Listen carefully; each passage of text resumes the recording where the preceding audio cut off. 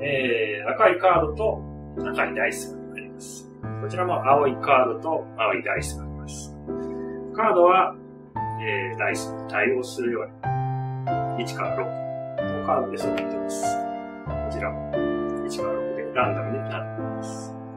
えー、じゃあ、ダイスの方いろんな目が出ることをご確認ください。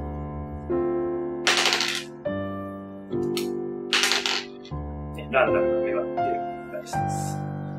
では、えーカード1枚振っていただきたいで、じゃあ触るだけで結構です。どれでもタッチしてください。このカード。このカードまだ見ますよ。置いておきます。えー、じゃあ青からも1枚選んでいただきます。1枚触ってください。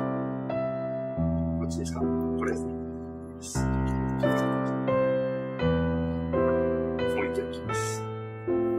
そして使うのが、こちらのダイスラダーと呼ばれるものですね。えー無色透明、仕掛けはありません。これを使うことで、ギャンブルテクニックが使えなくなります。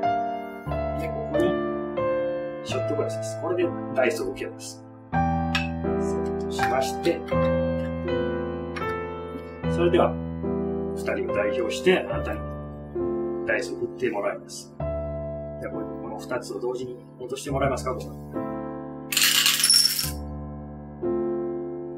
読めますか？3と5。ですね。赤が3で、青が5です。もし、カードでも赤が3で、青が5だ。これはなかなかな偶然です。ご覧ください。